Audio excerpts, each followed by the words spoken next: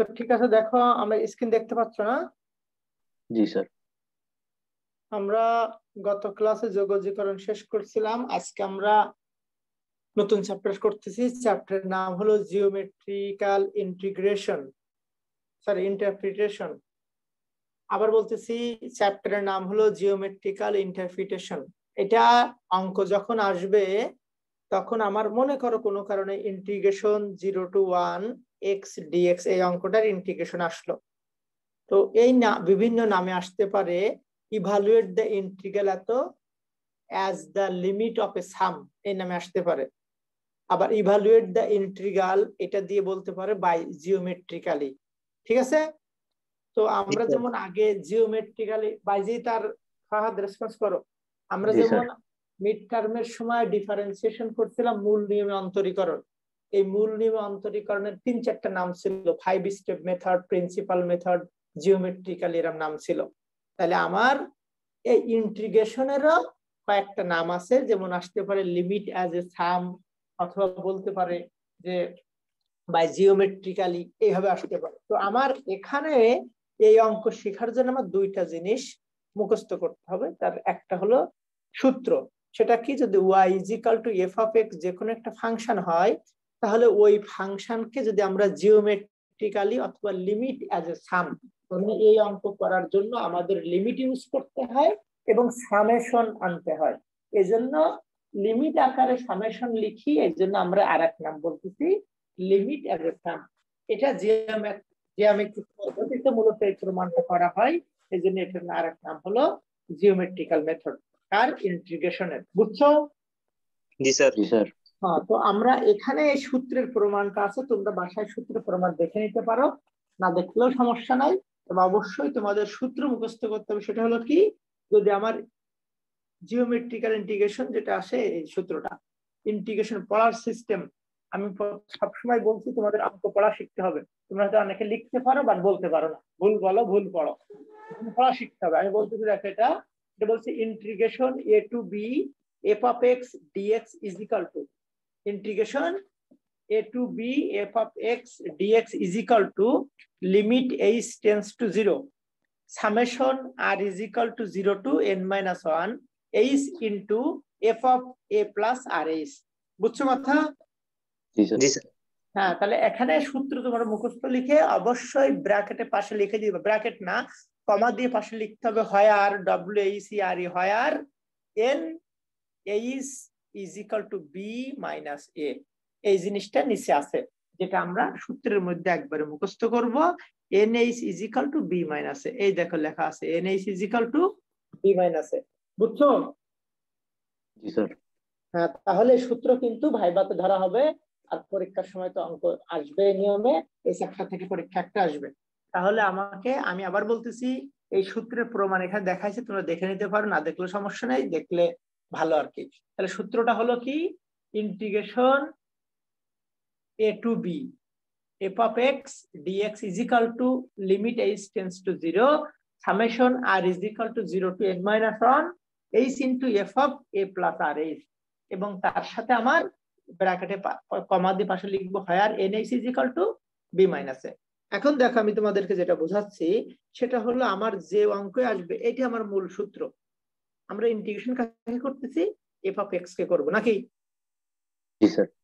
তাহলে আমার যদি কোনো কারণে অঙ্ক এরকম আসে zero to one x dx তাহলে খেয়াল করে আমি যদি বাম পাশের সাথে কম্পেয়ার করি তাহলে এখানে পাবো f of x is equal to x নাকি? জি sir. A is equal to কত? Zero zero b is equal to কত? ওয়ান তাহলে n h is equal to কত হবে? B minus c that is zero one minus zero is equal to zero ঠিক আছে?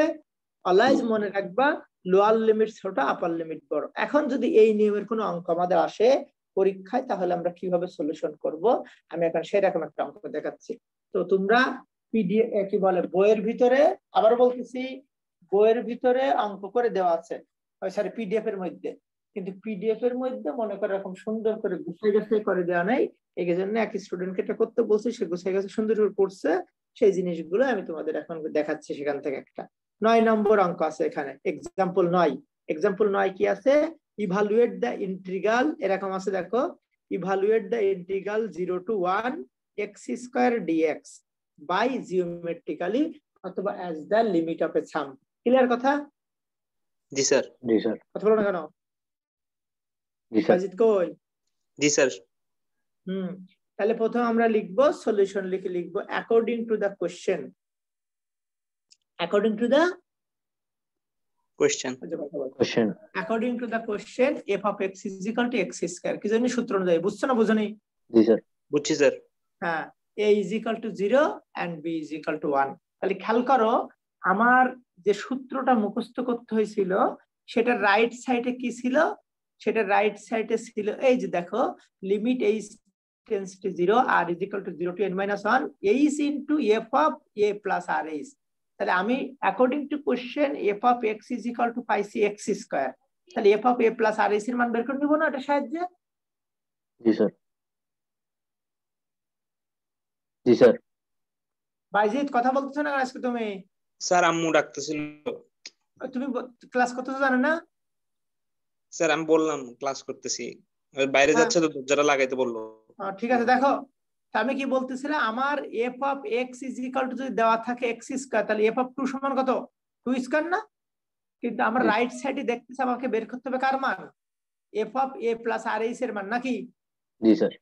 তাহলে আমার বাম সাইডে f of x is equal to question অনুযায়ী পাইছি এক্স স্কোয়ার তাহলে অথবা f of a plus r h সমান কত হবে? F of r a plus r h সমান কত হবে? A plus r h whole square না? জি স্যার। জি স্যার। ফাহাদ কথা বলে এর রেসপন্স না করলে আমি তো তাহলে এফ অফ এক্স যদি এত হয় তাহলে f of a plus r h কত হবে? A plus r plus r h a square plus r h whole square whole square square না হোল স্কোয়ার কেন এটা কেন বের করতেছে? আমার সূত্রের রাইট সাইডে আছে। এবার দেখো এখানে a is equal to zero b is equal to one আছে। তাহলে এখানে যদি এ ইজিক্যাল টু জিরো বসাই দিই তাহলে কি হবে? R s r h square না square whole square r s আবার r s r s whole r h whole square whole square sir তাহলে এটা যদি আর এস হোল স্কোয়ার হয় পরে স্কোয়ার করে দিলাম তাহলে r square into s square ঠিক আছে? জি জি স্যার স্যার এবার আমরা সূত্র ইউজ করব। উই নো দ্যাট এবার দেখো উই নো দ্যাট দিকে আমি সেই বরাবর সূত্রটা লিখে দিছি যে সূত্র তোমাদের মুখস্থ করতে বলছি। ঠিক আছে? এখন আমি উপরের জিনিসগুলো বের করলাম। এখান থেকে মানগুলো এখানে বসাই দাও। তাহলে দেখো এই যে লিমিট এ টু বি তাহলে এর মান কত বলছিলাম আমি? জিরো এর মান কত? ওয়ান তাহলে দেখো জিরো থেকে ওয়ান এফ অফ এক্স মান কত ছিল? এক্স স্কোয়ার নাকি? তাহলে এই যে মান বসাই দিলাম এক্স স্কোয়ার ডিএক্স শেষ। তাহলে আমার লেফট সাইড শেষ। যেহেতু আমাকে এই জিনিসটাকে ইন্টিগ্রেশন করতে বলছে তাহলে বাম দিকে এটা লিখব না। এখন শুধু ইজিক্যাল টু নিচে ইজিক্যাল টু দিয়ে লিখব। এবার দেখো ইজিক্যাল টু লিখছি limit h tends to zero summation r is equal to zero to n minus one ঠিক আছে?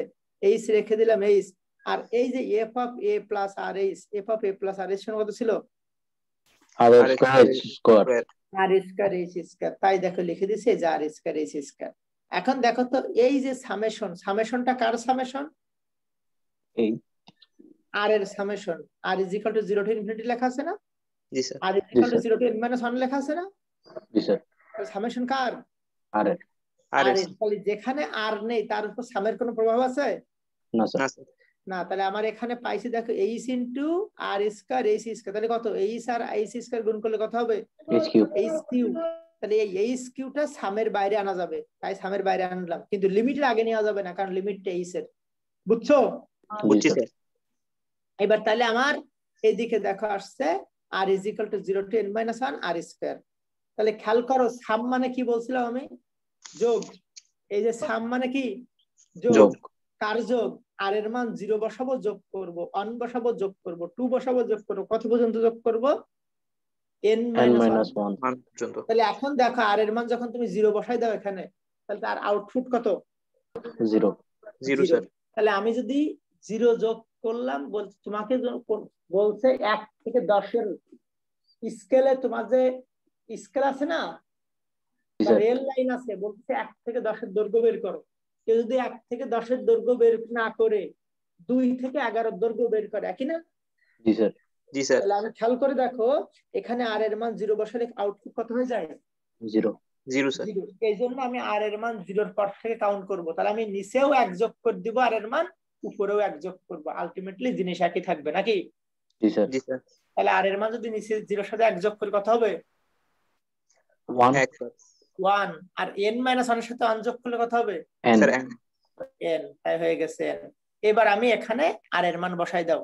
তাহলে আর এর মান প্রথম বসাবো ওয়ান তাহলে ওয়ান স্কোয়ার পরে যোগ দুই দুই স্কোয়ার যোগ তিন তিন স্কোয়ার এটা ইনফিনিট এন সংখ্যক সিরিজ আমরা জানি এরকম অসংখ্য সিরিজের মান তিনটা বসে ডট ডট দিলে হয়ে যায়। তাহলে আমি এই যে সামেশন এই অংশটুকুর পরিবর্তে পেয়ে যাই। এই অংশটুক।